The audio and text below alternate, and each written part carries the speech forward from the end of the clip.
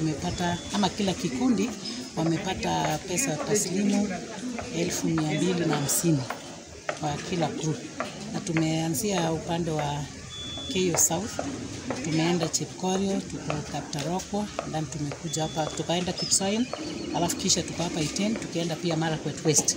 So kutoka ka pesa ambazo zimesaidia kina mama tangu ilipoanzishwa pesa za NGAF hapa nchini Kenya, imesaidia sana groups ya kina mama, maana tunapeana hizo kama mbegu ya groups ya mama zaidi ya mia moja kwa kila kikundi.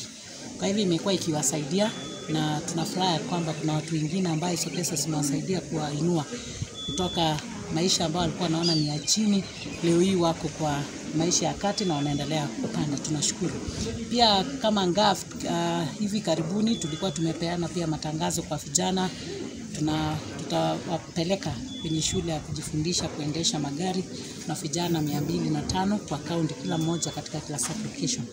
Ndio kazi ambayo tunafanya na kazi nyingi kama ofisi yetu ama pesa za ngafu inasaidia kina mama, vijana na walemavu